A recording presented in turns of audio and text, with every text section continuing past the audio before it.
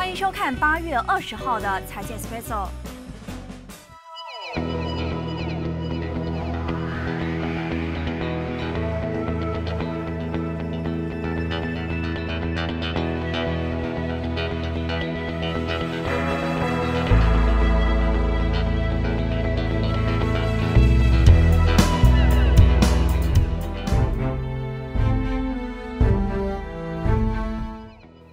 晚上好，我是威敏。首先有股汇行情，美国三大股指扬升，带动亚太股市走高，投资者趁低吸纳，令马股今天节节走高，最终以全天最高点闭市，挂一千六百零二点七五点，全天涨了六点三零点。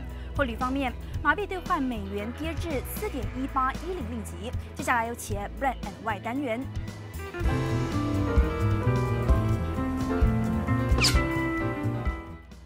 传出明天停刊消息的马来前锋报，在列入 PN 十七公司一年之后，今天遭到大马股票交易所寄出停牌令。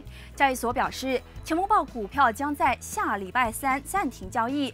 如果该公司礼拜二还是没有提出上诉，股票将在礼拜五正式除牌。而受到停刊停牌消息拖累，前锋报股价闭市时收在全天最低的七仙，总共走低四仙，或者是百分之三十六，市值。只剩下七百七十五万令吉，但无论如何，该报否认停刊。执行主席表示，从本周五起涨价五十仙。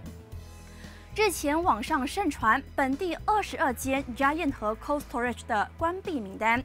对此消息，本地营运商大马 GCH 零售私人有限公司作出回应。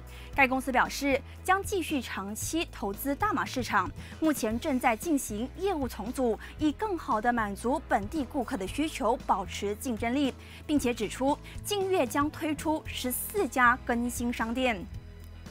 郭令灿要私有化杨辉公司的行动宣告失败。